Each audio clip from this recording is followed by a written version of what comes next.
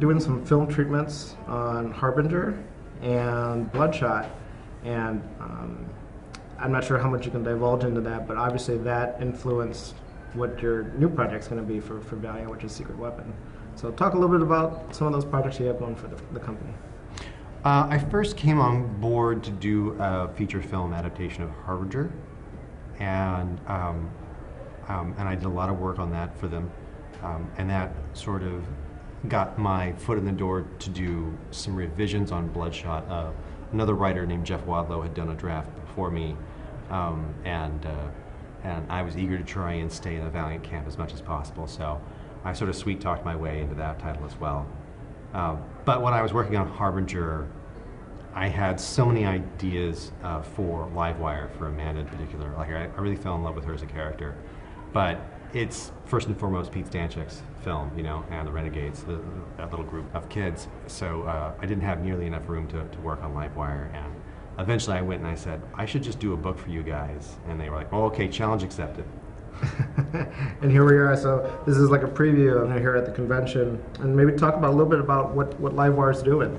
Yeah, um, you know, I had been fascinated by the fact that Livewire has such a a solid moral compass to her. You know that her mentor, who was really the one who taught her all these values and and discipline, uh, ends up uh, taking a really dark path, and and she doesn't follow him. You know, she stays true to what she knows is right uh, and in his absence discovers uh, an entire part of his business that she had no idea existed, which is uh, all of the psiots that he activated with his surgical procedure, which is a very expensive thing.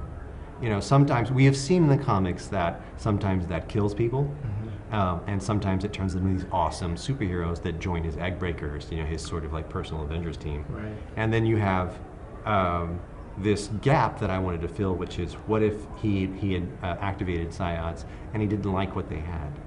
You know, after you're being told repeatedly you are special, you're gifted, and I'm going to invest a lot of money in you to activate whatever this latent power is, and then be told you're worthless, you're useless to me, I'm going to discard you.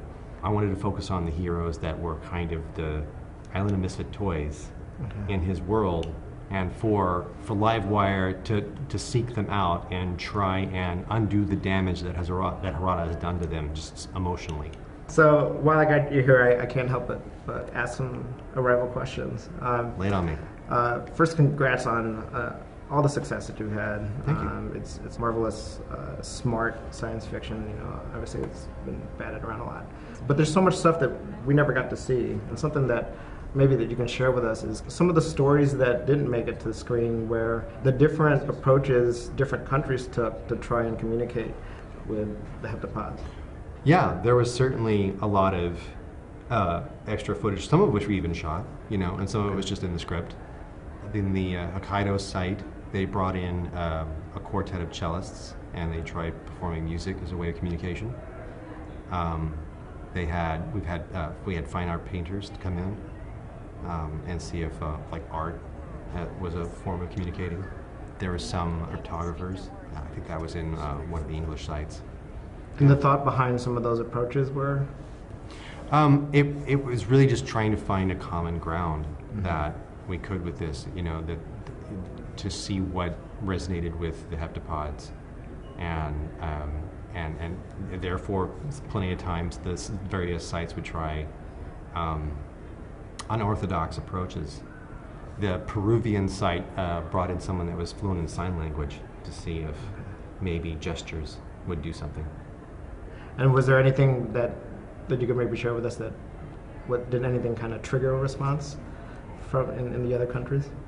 Uh, the you know it didn't it didn't last, but for many drafts in this script, uh, the heptapods at this Peruvian site uh, said back in sign language, bring us Louise.